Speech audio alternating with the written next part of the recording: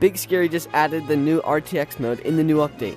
In this video, I'm going to be showing you where the button is and how you can enable these cool lights like this. So make sure to stick to the end to figure out how to do it. Also subscribe right now. Alright, so a lot of you probably saw Average Monkey's video where he found like the post-processing button and he didn't show us where it was. He just left it for you guys to figure that out, but I'm gonna show you. Most people actually think it's in one of these levels hidden somewhere, but it's actually a lot more simple than that. When you load into the game and you're like right here, you want to go into this little hole right here. Then make your way all the way up to the top of this part of the map. And no, it's not actually in the backrooms level. It's actually somewhere around here, and I'm to show you. So when you walk over to this little metal thing, it's really similar to the one in the video.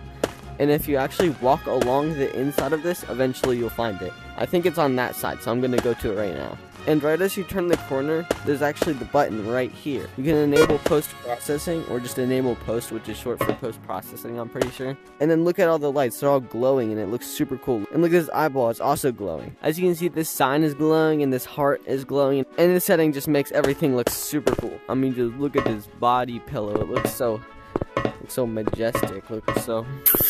The creator hat looked cool before, but now it just looks way better. Like, look at that glowing around it. It just looks so cool. But anyways, this was a pretty short video because I wanted to get it out today. If you found this video useful, hit the subscribe button and please hit the like button too. It helps me out a lot. And with that, I hope you guys have an amazing day and I'll see you guys in the next video.